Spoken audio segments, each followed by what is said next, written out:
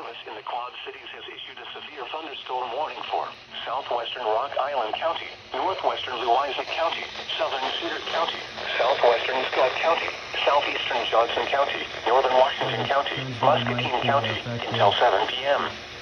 At 6:12 p.m., a severe thunderstorm was located over Conesville, or 8 miles north of Columbus Junction, moving at 50 miles an hour. Expected hazards include 70 miles an hour wind gusts. Expect considerable tree damage. The damage is likely to mobile homes and outbuildings.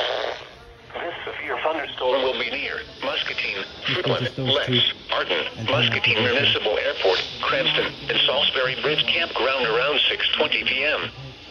Fairport, Illinois City, Sweetland Center, and Fairport Recreation Area around 6:30 p.m.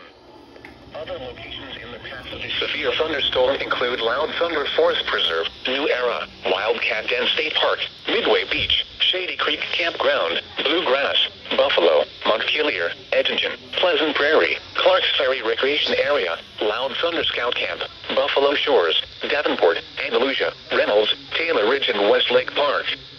This includes the following highways. Interstate 80 in Iowa between mile markers 264 and 291. Interstate 280 between mile markers 1 and 12. Remain alert for a possible tornado. Tornadoes can develop quickly from severe thunderstorms.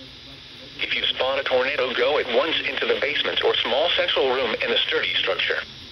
Take cover now. Do not drive your vehicle through flooded roadways. A tornado watch remains in effect until 9 p.m. for northwestern Illinois and southeastern and east central Iowa.